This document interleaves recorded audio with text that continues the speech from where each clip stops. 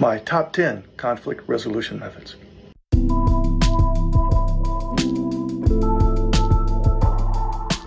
Number one, accept conflict. Yeah, accept it. Conflict is natural and happens in every relationship, whether it's neurotypical or neurodiverse. So, since conflict is unavoidable, you may as well learn to manage it, not avoid it. For example, shutting down, melting down.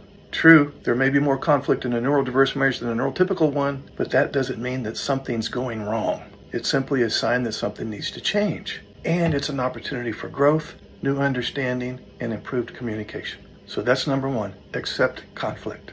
Number two, analyze the problem. You want to clarify the specifics of the issue in question. Some questions that you can ask yourself are what triggered the conflict? What happened during the conflict?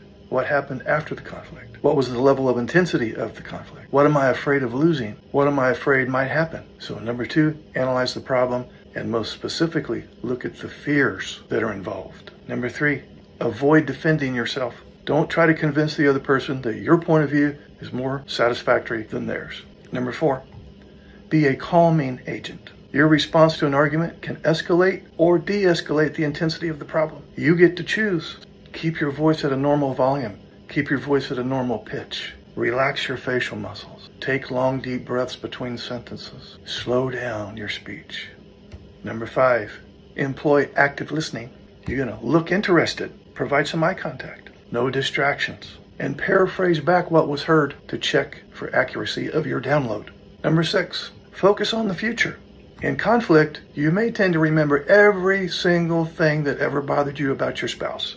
Couples in conflict need to talk about the past. Sometimes that's true, but they often dwell and ruminate on the past. You're ruminating about the past is you also re-injuring yourself because the incident happened once or twice, but if you think about it a hundred times, it feels like it's happened a hundred times. So often the best way to take ownership of the problem is to recognize that regardless of the past, the two of you need to create a plan to address the present conflict. Number seven, separate your spouse from the problem. In other words, view the problem as a specific behavior or a set of circumstances rather than attributing negative feelings to your spouse. Number eight, stay on topic. Work on problem A only, not A, B, and C when discussing things. Don't wander off into other unaddressed issues before the current one is resolved. If a new issue comes up, in other words, you're talking about problem A and then problem B comes up, that's fine. But just simply recognize that as a second problem, and the two of you agree that we will address this second problem in the next conversation. Number nine, use neutral language. When couples are in conflict,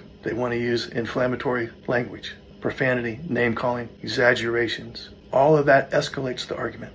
Restate inflammatory language in a more objective way to help make the information less emotionally loaded. And lastly, number 10, end on a positive note. In the conversation with a touch on the shoulder, a hug, a kiss on the cheek, I love you even when we argue statement, and anything else that can kind of put out the flame. So, those are my top 10 conflict resolution methods. Good luck.